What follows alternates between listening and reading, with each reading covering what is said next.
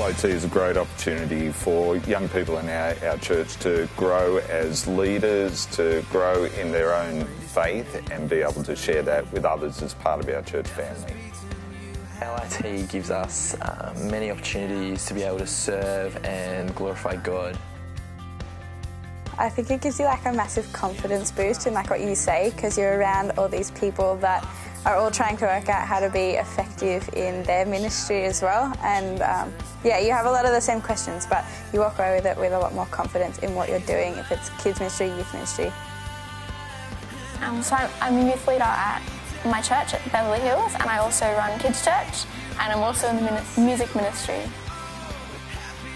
So LIT has helped me um, grow as a strong Christian leader as it's given me many opportunities to uh, break down God's amazing word.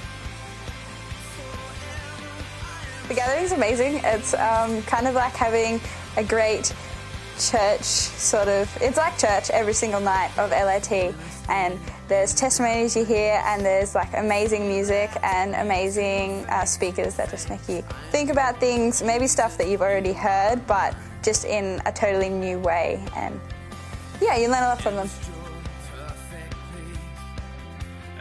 Um, I really loved the Christian community that it provided. So we catch up with our friends so often um, afterwards, and it's just been really great to have that, yeah, like a second family that you can rely on and talk to and hang out with. One of my all-time favourites is, you know, jumping in the river, free time, um, having a slingshot, and firing tennis balls at people trying to watch them catch it and failing, sometimes hitting people accidentally.